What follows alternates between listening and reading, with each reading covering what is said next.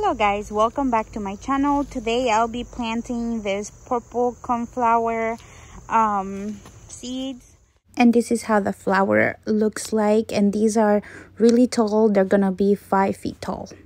Over here, I'm gonna add more soil and I'm gonna just fill this area with these beautiful seeds. And I'm also gonna be spraying my petunias with BT because I've been having issues with uh, worms. Like this one right here there's one right here. So these little guys have been eating my petunias um, and every time they eat them it looks like this. I don't have a lot of blooms anymore because this little guy has been eating all of them. There's probably tons of them all around the petunias uh, that's why it has gotten really bad. Um, but I will be spraying BT today to fix that so problem. I prepared a little area with fresh new soil where I want to plant my seeds and I have the seeds over here. And you're supposed not you're not supposed to cover them so I'm just gonna throw them like so hopefully the birds are not gonna eat them there's not a lot a lot of birds. Um, since it's getting kind of cold. Um, so I'm just gonna seed them like this and I'm gonna water them. Uh, these are biennial so they are going to grow little leaves this year and then next year they're hopefully gonna produce flowers right here I have this little spot where a lot of weeds are growing so I'm just gonna lay a bit of cardboard and some pine um, edge pine bark uh, because I I don't want to put weed fabric over here because the soil on this flower bed in the back um, doesn't drain too well so I want to add more stuff before I add my weed fabric.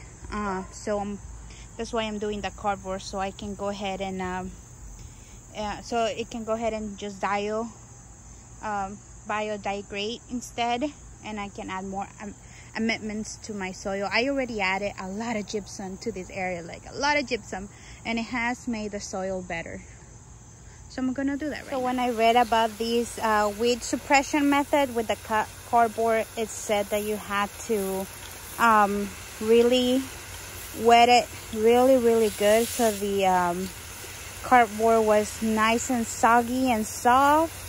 So that's what I'm doing right now. And I had to remove all the tape of the cardboard because of course the tape is not gonna biodegrade. It looks now nice and clean. No weeds at all. And I'm planning into putting a whole bunch of liatris all over in the back because they grow kind of tall but then uh, around this time they kind of start fading and you only see like a grassy texture. So I'm gonna plant just a whole bunch back here a whole bunch. And then we have the hydrangeas in the back. It's just gonna look so gorgeous. Uh, and then on the back back I'm gonna put some um, what are they called? Black eye Susans the ones that grow really tall. Um, and then in the front is always gonna be annuals every year annuals uh, so now I'm gonna spray the, the petunias with the so BT. this is a spray bottle I use. Uh, it's just a Chapin uh, sprayer. Um, and it just has a little spray nozzle. And I'm gonna be using uh, Thuricide uh, BT by Bonide. And this works really good for uh, killing the uh, for killing the uh, uh, caterpillars. Per, I mean, for a gallon, you have to add four teaspoons and I usually just eyeball it to be honest um, and pray that I don't kill my plants. Uh, so follow the directions correctly. Don't be like me. So the way this bottle works is that you pull out the thing you bring it down and then you can start spraying like that. And that's how I spray my petunias. And this hopefully is gonna help um, last year that I planted petunias, I kind of, after they started getting uh, bugs, uh, um, worms, I just let them go. I didn't really do anything to them, so hopefully uh, I'm still gonna get a few more months out of them uh, with with using the BT. Now I'm going to this one's over here because this ones are also losing all the blooms due to the worms.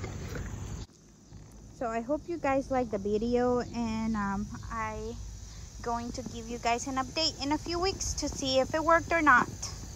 Uh, bye bye.